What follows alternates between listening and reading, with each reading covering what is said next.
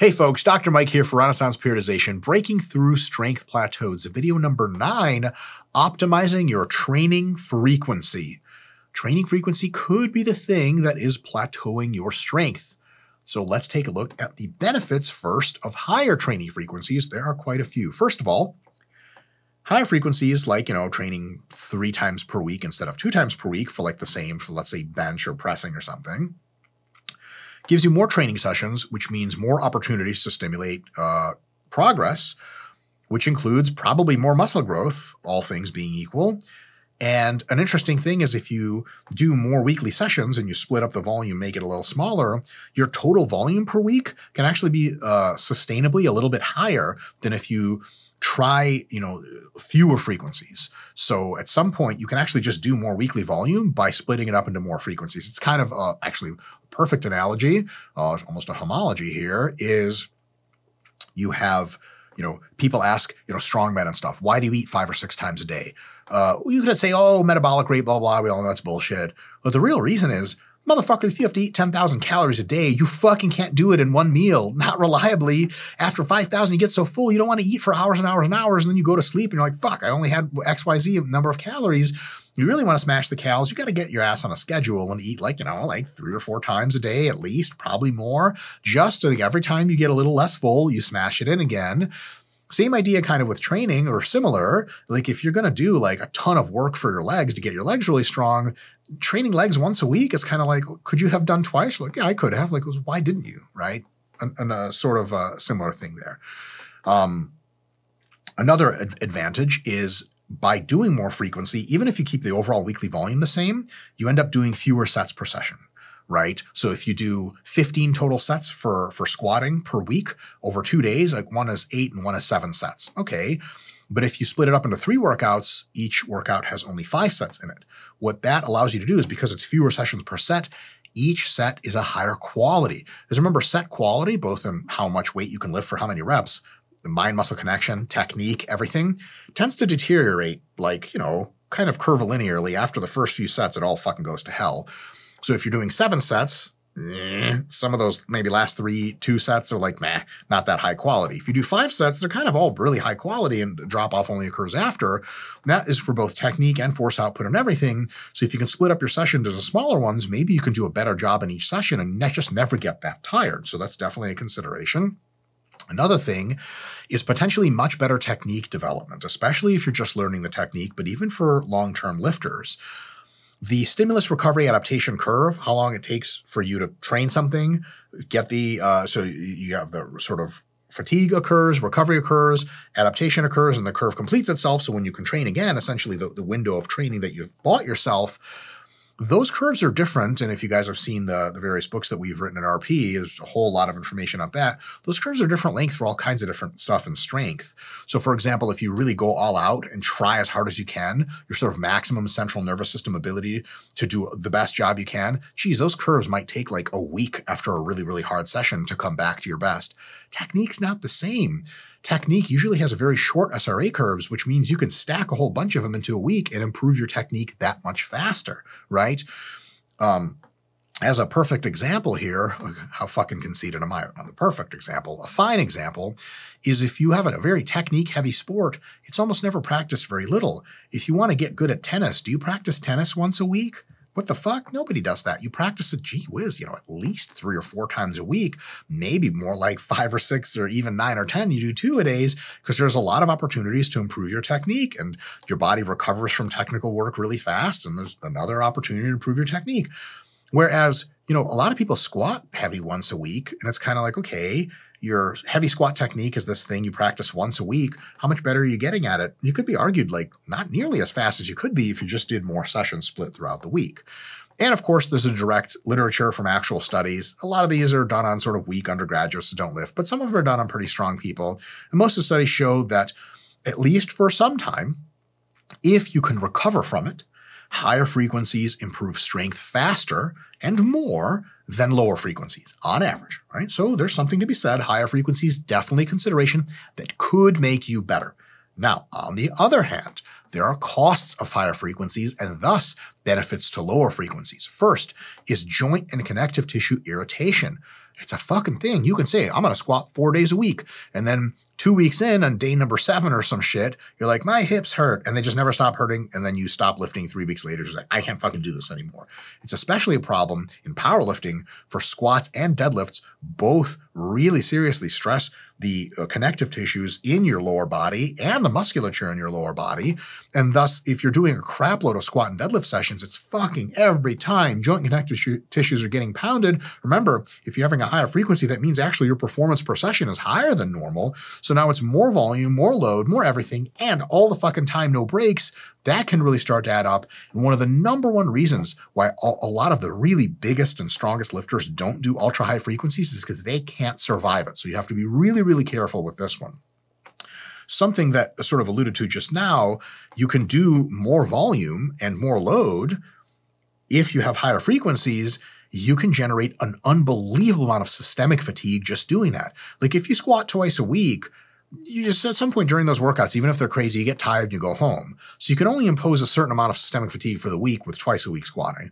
With four times a week squatting, even if each squat workout is you know, 70% as fatiguing as the other ones, if you do the math, that's more systemic fatigue. Nothing in this fucking world will crush your ass like high frequency, high intensity strength training because you're like, oh my God, I'm doing so much volume. And then three weeks later, like, oh my God, I'm doing so much volume. I would have never been able to do this if I was training, you know, twice a week for the same muscle group or, or movement pattern. But now that I'm training three or four times, I'm like gasping for air. I can't fucking survive this kind of shit.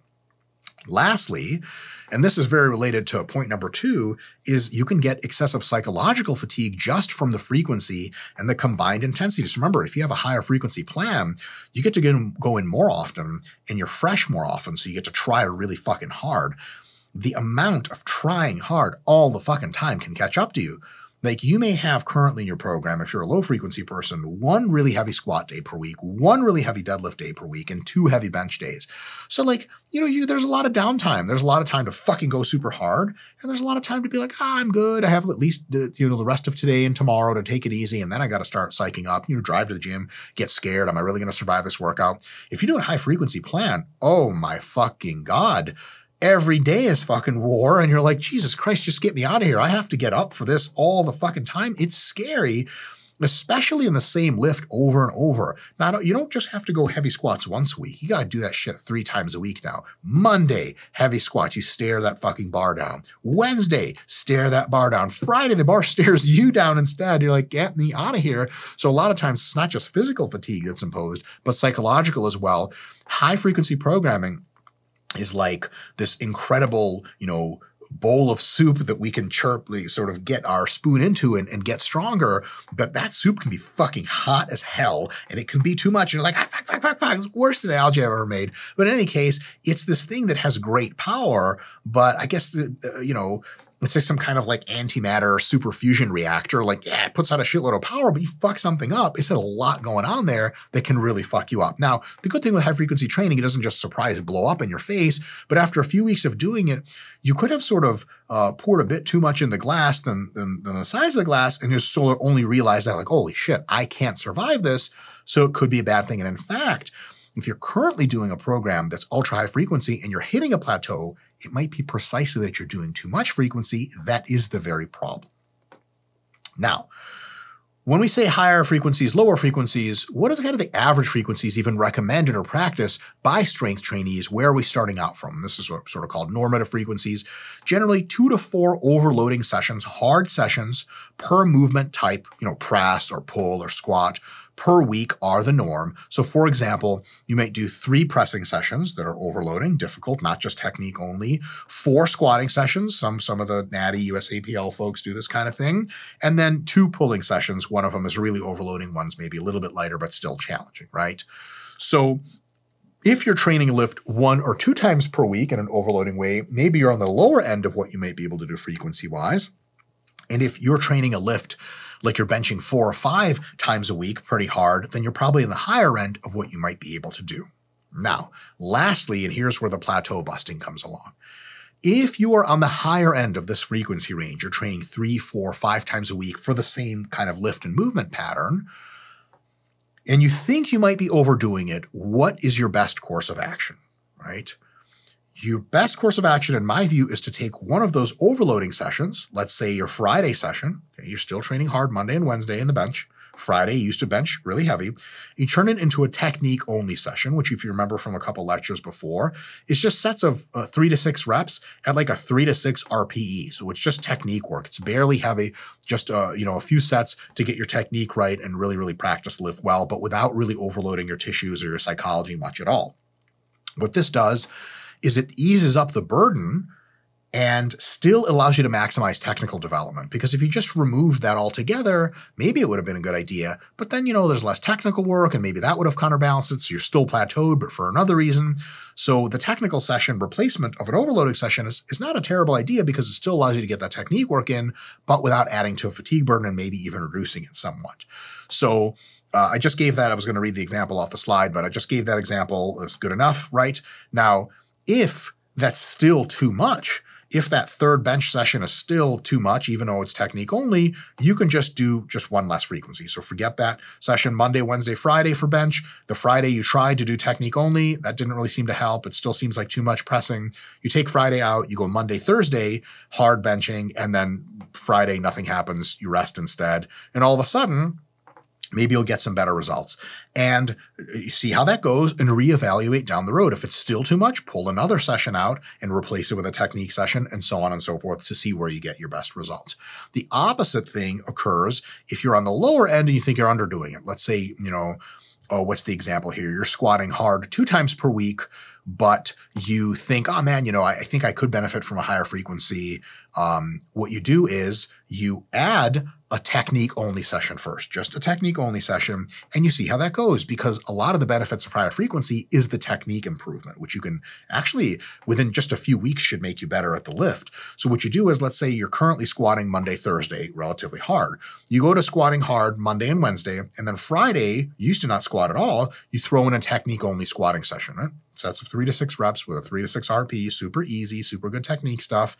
And then just boost your technical development without adding much, if any, fatigue, because light exercise has actually shown to reduce fatigue, but this is sort of not that light. Probably adds no fatigue at all on average, maybe just a little bit. And if that goes well and you improve, that's awesome. But if you're improving and you're also like, man, honestly, I'm recovering super well.